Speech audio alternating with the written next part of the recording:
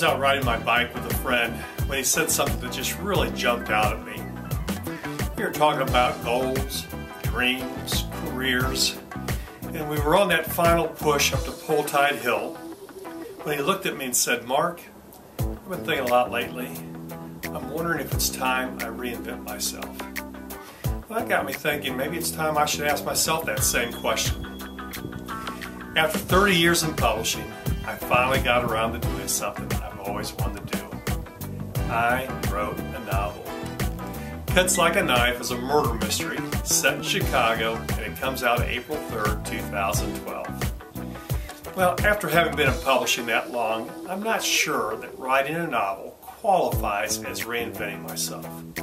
After all, it's still a matter of putting words on a page, even if the page isn't always made out of paper anymore, but is sometimes embedded in a screen. But I have to tell you, doing something outside my normal work bounds was very rewarding, very energizing. In fact, it was a blast.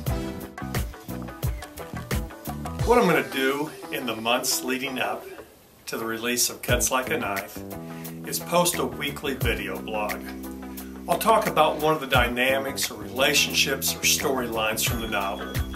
Uh, it might be about a self-defense strategy, or shooting a handgun straight, or getting along with the boss, or sibling rivalry, or whether a Barbie doll is a good gift for a seven-year-old girl.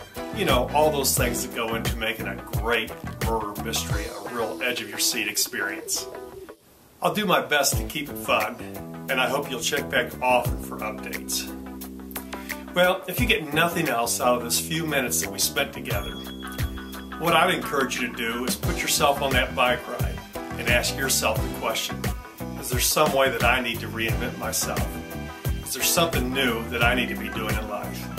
You know, it doesn't have to be a real big deal to have big rewards and big benefits in your life. Well, thanks for coming by, and I hope to see you again soon.